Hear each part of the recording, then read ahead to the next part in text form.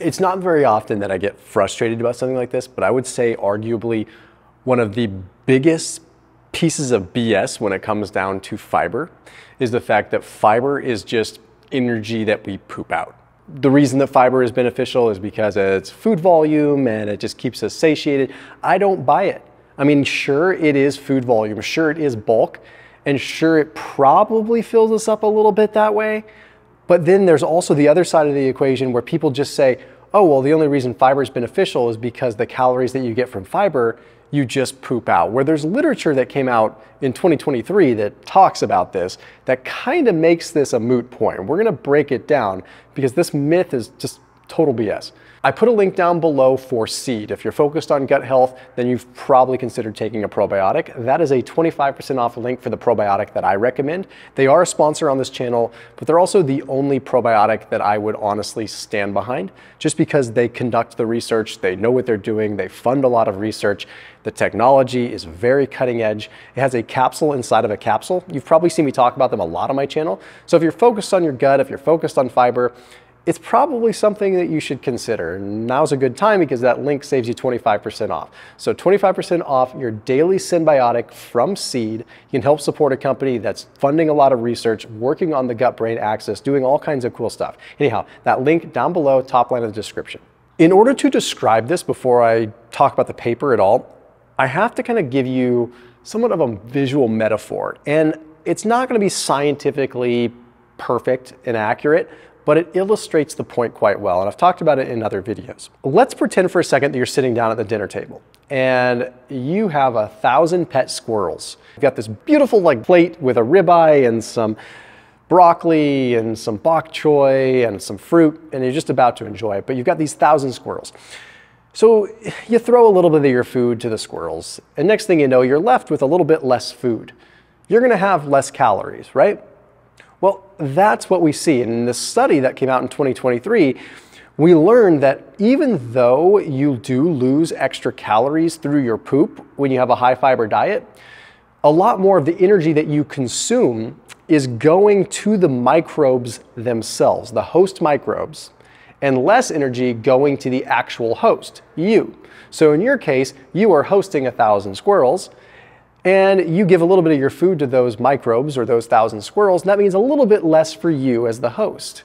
And that's what seems to happen with fiber. Because the calories are essentially fueling some of the gut microbiome, that's less calories that contribute to you as the host, but it doesn't seem to affect your energy output, it just affects your net energy balance. Now, a very important thing to understand is that when these squirrels poop, that poop gives you a little bit of energy too. Now, what I mean by that is when you feed these microbes, they might poop out short chain fatty acids. And short chain fatty acids aren't just a magical signaling molecule that magically does things independent of energy balance.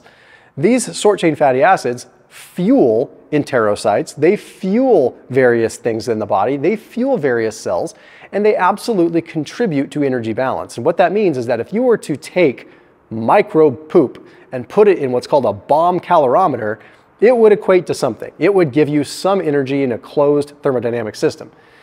Now, how that applies to a human, we couldn't give you an exact number. We can't quantify an exact number. But what we do know is that the calories you get from fiber, the fiber itself, through the fermentation, maybe not the calories, but the fermentation, does contribute to energy balance. This is very complicated, right? What do I mean? It means the biggest myth, the biggest piece of BS that's out there with fiber is that fiber is only bulk and is only satiating you because it's bulk and it's only helping you lose calories because you're pooping the calories out. No, it's helping you reduce your metabolized energy because a percentage of the energy that you are taking in is feeding the gut bacteria, which are then providing energy in a different direction. So it's complicated, but to say that fiber is just fiber is very naive.